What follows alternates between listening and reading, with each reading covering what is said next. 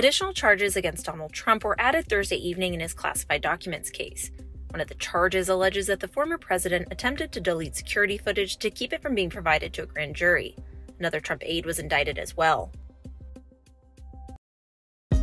Hey, thanks for watching. If you like this video, check out these other videos from USA Today to stay up to date with all the latest news.